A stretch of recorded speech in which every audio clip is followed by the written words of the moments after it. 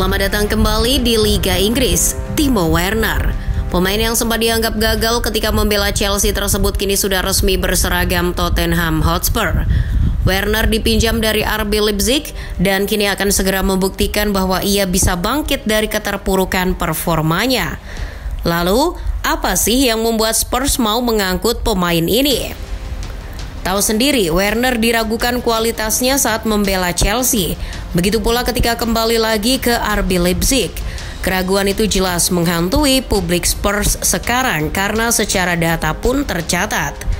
Bagaimana bisa pemain yang mencetak total 34 gol di Leipzig pada musim 2019-2020 lalu kemudian hanya cetak 23 gol dalam dua musim di Chelsea?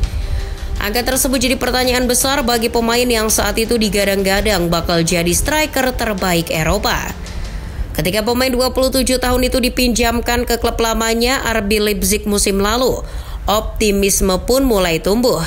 Namun apa boleh buat, reputasinya sebagai calon striker top Eropa sudah kadung hancur selama membela The Blues. Terbukti ketika diterima kembali di Rotan Bulen, Werner hanyalah pemanis belaka di skuad Marco Rose. Dilansir Get Football News Germany, Werner kalah saing dan hanya jadi striker pelapis keempat Leipzig di bawah Lois Openda, Benjamin Sesko, dan Yusuf Paulsen. Direktur teknis Leipzig, Max Eberl, sampai mengklaim bahwa Werner kini sedang dalam krisis kepercayaan diri. Secara catatan performa terbukti, Werner hanya jadi starter dua kali saja di skuad Marco Rose musim ini.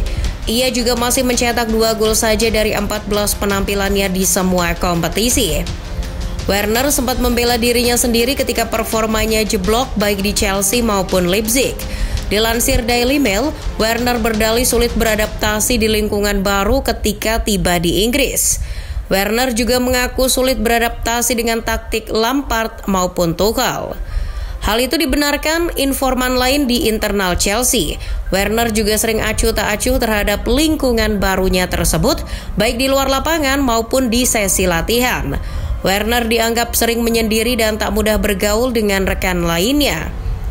Lalu sekembalinya ke Leipzig, ia pun masih sama sikapnya. Menurut Get News Football Germany, Werner tak punya gelagat untuk memperbaiki performanya yang sudah kadung anjlok di Chelsea. Menurut Max Eberl, Werner seperti ogah-ogahan di sesi latihan tim, maka tak heran ia hanya dijadikan pelapis oleh Marco Rose. Sampai pada akhirnya ia ngomong sendiri pada sang pelatih keinginannya untuk segera pergi dari Leipzig. Timo ingin pergi untuk dapat menit bermain lebih, agar bisa dipanggil ke skuad timnas Jerman di Euro 2024 nanti. Marco Rose juga sempat bilang bahwa tidak ada masalah pribadi dirinya dengan Werner selama ini. Ia mencadangkannya karena murni kemampuannya belum pulih. Direktur olahraga Leipzig Mario Gomez kemudian mulai mencarikan klub bagi Werner. Menurut Gomez ini adalah win-win solution bagi Werner maupun Leipzig. Awalnya MU yang tertarik pada Werner, namun karena tak ada tindak lanjut Tottenham masuk dengan penawaran pinjaman. Kebetulan The Lily-Whites sedang mencari pengganti sementara bagi Song Hyung Min yang sedang bertugas bagi negaranya Korea Selatan di Piala Asia. Spurs juga masih minim stok lini serang mereka. Mungkin hanya ada Brennan Johnson yang sering cedera, Richard Richarlison yang kadang mandul, maupun Kulusevski. Kondisinya, membeli striker dengan harga mahal di bursa transfer Januari bukan pilihan realistis bagi manajemen Spurs saat ini. Mereka masih dalam mode hemat, maka dari itu meminjam Werner adalah solusi yang tepat.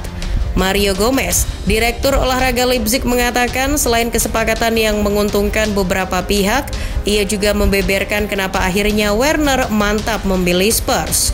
Menurut Gomez, Spurs ternyata memberikan jaminan Werner menit bermain lebih.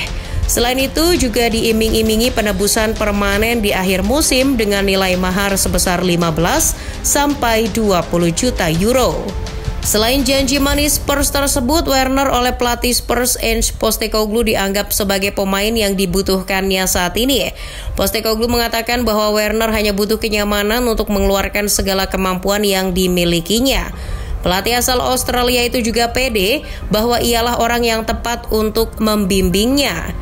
Kalau dilihat dari apa yang ditorehkan Werner selama di Chelsea maupun periode keduanya di Leipzig harusnya pesimis.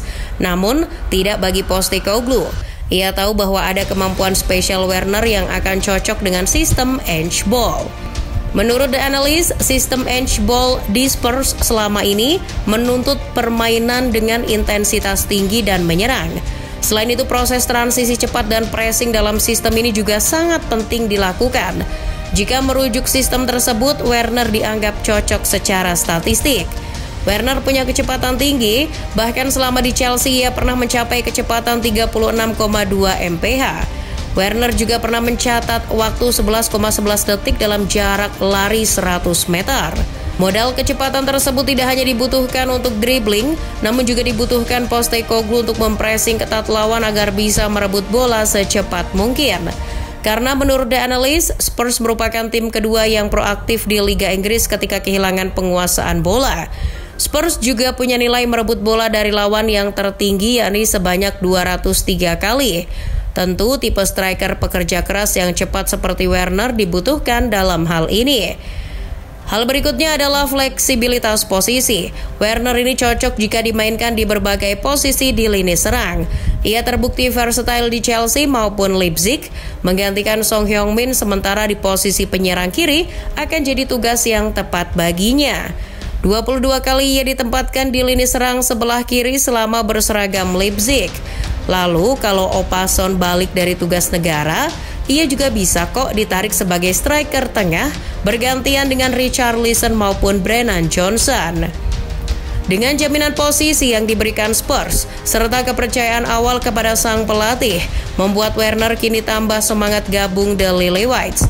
Karena tahu sendiri, tujuan utama Werner adalah untuk meningkatkan performanya lagi agar bisa jadi bagian dari skuad Der Panzer asuhan Hansi Flick di Euro 2024 nanti. Pasalnya ia sudah tadi panggil lagi sejak terakhir kali laga melawan Belgia di bulan Maret 2023. Dengan Song Hyung Min yang sedang absen, Werner harusnya langsung tancap gas. Ia harus segera membuktikan bahwa pilihannya gabung Spurs adalah langkah yang tepat. Ia juga harus menjawab kepercayaan Postecoglou. Namun sebagai catatan saja, Werner harus serius dan benar-benar bekerja keras untuk bisa bangkit. Jangan ogah-ogahan latihan lagi seperti di Leipzig. Sayang kan, kalau sudah semangat di awal tapi masih saja malas untuk berjuang untuk bangkit. Well, kini saatnya Timo Werner unjuk gigi. Segera tunjukkan kebangkitanmu Werner Katakan pada dunia bahwa dulu Chelsea telah salah membuangmu.